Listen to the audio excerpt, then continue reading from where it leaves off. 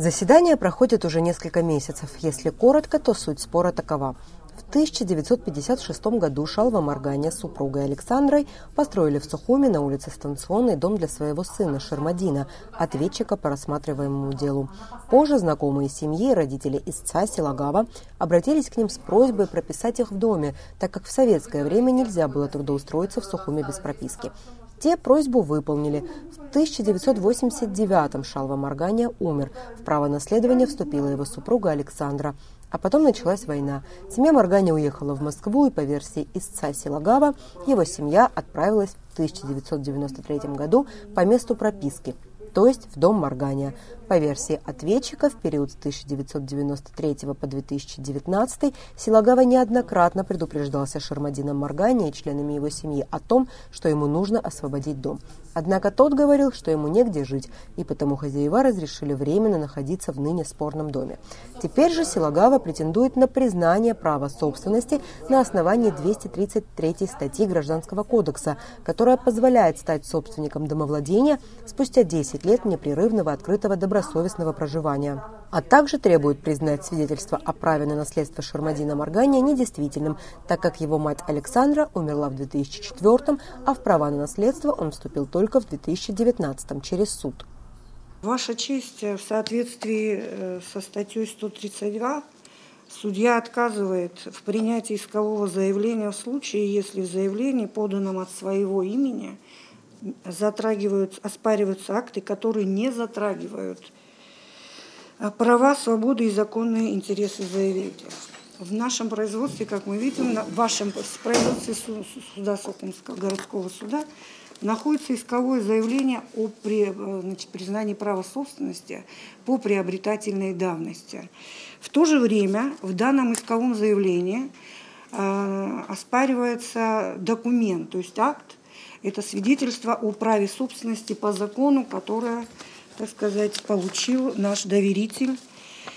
А мы считаем, значит, что данное требование является незаконным, так как в соответствии со статьей 1098 наследниками, наслед, наследование осуществляется либо по завещанию, либо по закону.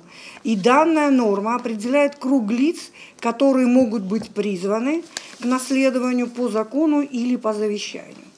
Э, значит, уважаемый доверитель не представил никаких доказательств того, что он относится к тому кругу лиц, которые могли быть призваны по закону или по завещанию. Значит, э, соответственно, никакие права данным документам не могли быть нарушены, э, так сказать, вот данным гражданином. Э, поэтому мы считаем, что данное требование, оно противоречит закону, так как никаких прав, связанных с наследованием, у нашего, э, так сказать, представителя истца нарушено не было. Истец вправе дополнять, изменять и уточнять свои исковые требования в соответствии с Гражданским кодексом, парировала адвокат Силагава Кристина Габелия. Первичное исковое заявление Силагава было подано о признании права собственности в силу приобретательной давности. Впоследствии данное дело было приостановлено по, по, до того момента, пока Президиумом Верховного Суда не была рассмотрена надзорная жалоба Силагава. По результатам данной надзорной жалобы решением, решение Сухумского городского суда э, было отменено 26 э, июня 2019 года вынесенное решение, которое послужило основанием к выдаче данного свидетельства о праве на наследство – в рамках уже возобновленного гражданского дела нами было заявлено ходатайство об уточнении и дополнении своих исковых требований, поскольку свидетельство о праве на наследство выдано на основании решения, которое в настоящее время отменено. Э, права наши не нарушаются или нарушаются. Уже дал оценку Президиум Верховного Суда в своем постановлении 30 октября 2020 года, где четко сказано, что из материалов дела, представленных суду надзорной инстанции, усматривается, что в спорном домовладении постоянно с 1994 года по настоящее время проживает Сила Гаванадар со своей семьей, который содержит жилое помещение в надлежащем состоянии, несет бремя расходов по его содержанию.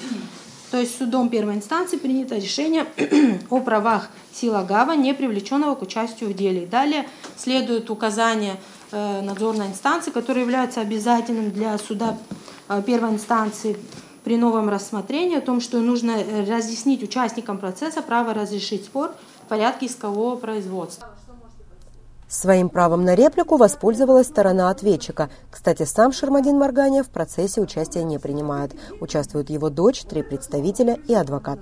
Во всяком случае, из э, закона, из статьи 233, при рассмотрении искового приобретательной давности никогда не ставится вопрос о том, чтобы отменить какие-либо правоустанавливающие документы.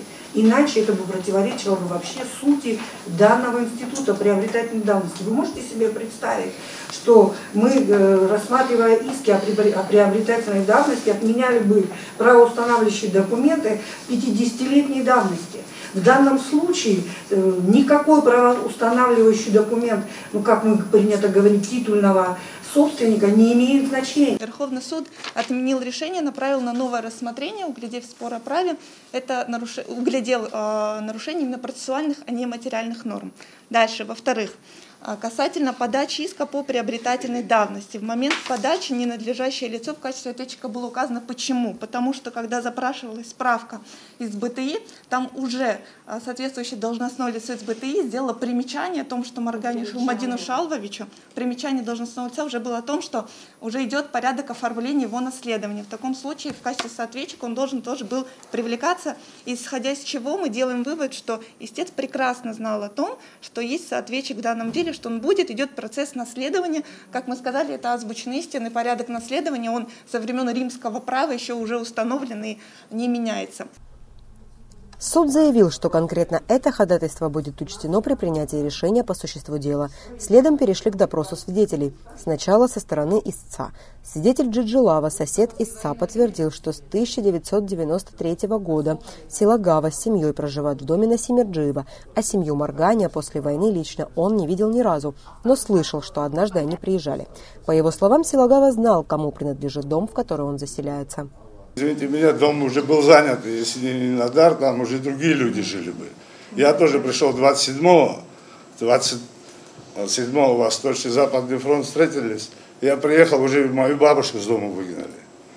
Я вернул. Если, извините меня, если хозяин хотел бы, пришел бы, сказал бы, брат, ты же знаешь меня, я вернусь. Никто не пришел вовремя, не сказал. Я же пришел на второй день, дал людям три дня, они уехали. Пошли рядом, двухэтажный дом взяли. Еще больше, чем...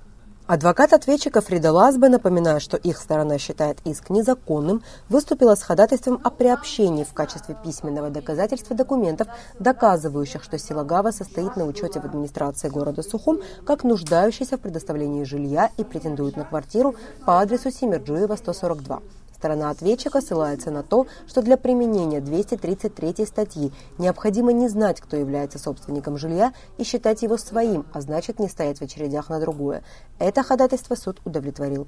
Следом допросили свидетеля со стороны ответчика, его родную сестру Лиану Маргания. Наш дом, дом моего брата, дом моего отца. В этом доме вы выросли? Конечно. Скажите, пожалуйста. Я родилась там. Ну, я вообще знала, что как? это да, какие-то, э, я не знаю, там знакомые мои, его, их дедушка или кто-то был знаком, знакомым моего отца. И просто это было какое-то свадебное мероприятие. Папа был очень добрый человек. У нас были прописаны не только он, а и другие абхазцы были прописаны. Вот, например, Губас Ваня был прописан. Он герой соцтруда потом стал, машинистом и его семья была у нас прописана. Они никогда ни, ни на что не претендовали, однако. Ну что вам сказать? Он, отец сделал доброе дело. Да, вот. Отец сделал доброе дело, как он всем помогал и устраивал на работу потом. Потому что в Сухуми невозможно было жить без прописки. Так как дом был собственностью, и собственником был он, отец, то любой прописанный в нем э, человек не имел права на эту собственность. И он прописывал, помогая. Судебные заседания по рассматриваемому делу продолжатся на следующей неделе. Элеонора Гилаян, Сосрыку Агуха, Абазатова.